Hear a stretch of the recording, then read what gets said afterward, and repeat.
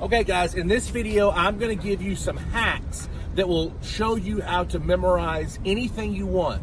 But before we learn how to memorize, in this video, I wanna do a little bit something different and I wanna show you why you're not remembering, why you're forgetting and use a, an analogy of a file cabinet as my example. So follow me, let's hit an Office Depot and we're going to use their file cabinets for this video, but I don't wanna buy them, but we're gonna use file cabinets. Follow me in.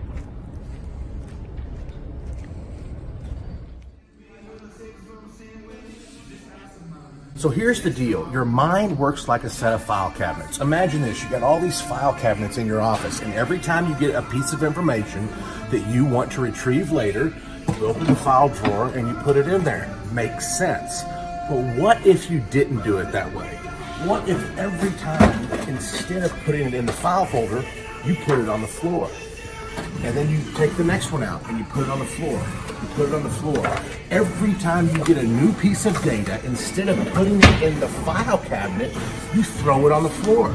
And then in two, three years, you walk back in here to your office and somebody says, hey, I need the Jones file. I need the Anderson file. Normally, you just go in here, you open it up.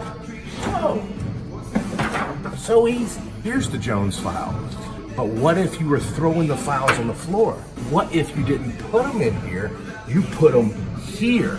I tell you what would happen. You would walk in here and the files would be up to here. You'd have to get down on your hands and knees and you'd have to sort through all the information. Two hours later, you would find what you were looking for. And this is exactly why your brain has trouble remembering. Let's head outside and I'll show you what I'm talking about. Okay guys, let's go back to that analogy that we had in the file cabinet. You get a new piece of information. You put it in your ear, it goes on the floor of your memory. You get a new password for your email address. It goes in your ear and on the floor of your memory. You read a new book on history. That history information goes in your ear. It goes on the floor of your memory. You meet somebody named Steve. That information goes in your ear and it goes on the floor of your memory. And let's just say every time you learn something new, instead of putting it in a file cabinet in your brain, like you would put a file cabinet in your office, you put it not in a file, but you're putting it on the floor of your memory. Every time you get it, meet a new name, Steve on the floor of your memory, Brian on the floor of your memory, Lisa on the floor of your memory, Karen on the floor of your memory. All these names are going on the floor of your memory. Then you read a new book and you got math formulas and history and business information all on the floor of your and memory. Boom. This is what your brain looks like. This is why you can't remember. Because then three weeks later, you're at the grocery store or Starbucks or the football game, and you see that person that you met, but you can't remember their name. Why can't you remember their name? Because this is why. This is why you can't remember the name. The data is on the floor of your memory. It's not in a file cabinet in your memory. If that name was in a file cabinet, you could retrieve it. How many of you students you study for a test. Abraham Lincoln, George Washington, Thomas Jefferson, War of 1812, World War II, World War I, all the statistics. Then when you're taking the test, you get stressed out and you can't find the answer. You know the answer's in your brain, but where's the answer? It's in here, but you can't get the answer because this is what your memory looks like. Let's use one more example here of a desktop of a computer. Let's imagine, come over here. Let's imagine that your desktop looked like this. Then let's say you needed to find a picture or a file or a spreadsheet. It would be a mess. You'd never be able to find it. But let's imagine your desktop looked like this. Then you would be able to find what you need. Why? The difference is files. So here is the hack. Here's the thing. To remember anything, you need to unclutter your brain. Look at that mess over there. That's how your brain looks without files. That's how your brain looks without a memory system. So what you need to do is you need to organize this and build mental file cabinets in your brain. You would never clutter the desktop of your computer. You would never clutter stuff on the floor of your office with papers, you would always use files, whether it's a file cabinet or here. So let's use files in our brain. The next question is, is Ron, what is a file in a brain? A file is a place in a room that you have numbered. It's called the Mind Palace. I did a short video here describing what the Mind Palace is. Check it out. So, what is a mind palace? Well, first of all, a few things. Number one, it's not just the work of fiction, it's an actual real thing, and it was not invented by Sherlock oh. Holmes. Number two, it actually dates back about 2,500 years to 477 BC. It was invented by a man named Simonides in Greece. A mind palace is essentially a room or a building that you have memorized and you use the locations in that room to store data. Let me give you an example. You go to your friend's house, you take off your jacket when you walk in the door, and then you set your jacket down in a chair. You go throughout the party, you spend time at your friend's house that day, and then three or four hours when it comes time to leave, you know exactly you need to go back to that chair to get your coat. Why? Because the chair held that coat in your brain.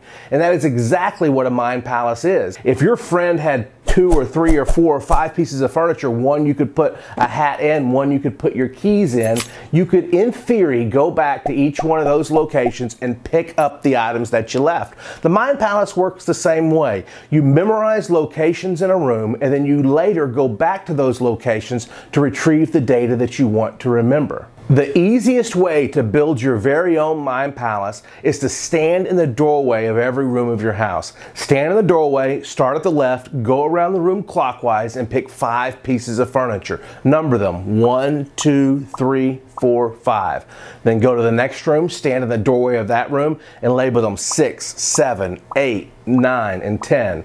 Go to the next room, 11, 12, 13, 14, 15. In every single room in your house, pick five pieces of furniture and number them going around the room clockwise. A few rules of thumb here. Pick big items don't pick small items. And number two, spread them out around the room. Good items to pick will be things like desks or beds or TVs or refrigerators or stoves or microwaves or sinks or bookshelves or computers. Pick lots of different items, but if you use a chair in one room, don't use a chair in the next. These locations are going to be places where you're going to mentally store data in your mind palace. Now, once you have these locations in your room numbered, then I want you to close your eyes and I want you to say all your files, one all the way up to 20 or 30, however many you have, and then backwards, 30 to 1. Say them forwards and backwards over and over again until you know them cold or until somebody could say what was number 10 and you could say what it was just like that.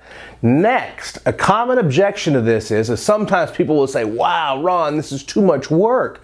Uh, you really want me to number all these pieces of furniture in my house and memorize all these pieces of furniture just to memorize a list of words or, or something else? It's not really true. You already have these locations memorized. I'm not asking you to memorize your house. You already have it memorized. I'm just asking you to number it. And once you have it numbered, it's going to be a crazy cool skill that you're going to be able to use to memorize anything you want. Now, let me give you an example of how you would use this to memorize something. Let's say that you wanted to memorize a list of words, and on that list of words, number eight was a dog. Well, you've already determined what your eighth file is. Maybe it was your bed or your dresser or a desk or a computer.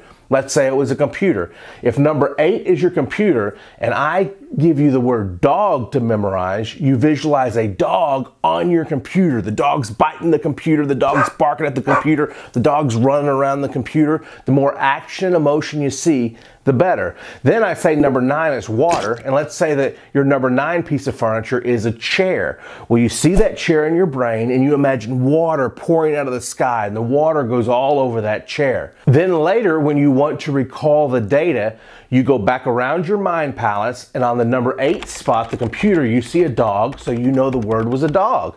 On the number nine spot, a chair, you see water, so you know that number nine was water you always use every file in chronological order. And what I mean by that is this. If I say number eight is a dog and you think, oh, well, my number 13 piece of furniture is the mat where my dog sleeps, so I'm just going to imagine my dog there on number 13. You don't do that. You put the dog in the mind palace in the order that it falls. If it's the first word, you put it on the first piece of furniture. If it's the third word, you put it on the third piece of furniture. If it's the eighth word, you put it on the eighth piece of furniture. You put it in the order that it falls, not where it makes sense in your house. And that's an important tip for the mind palace. All right, guys, that is the Sherlock Holmes Mind Palace. And I have used it for over two decades to memorize all kinds of things, lists, poems, books, and even set the record for the fastest to memorize a deck of cards in the United States. So, guys, that's the difference. The difference between why can't you remember anything? You can't remember because your brain is cluttered. It's like file cabinets is what you need. If your brain is cluttered, you won't be able to recall anything. You need to unclutter it by building these files, or the, this what I refer to as the mind palace.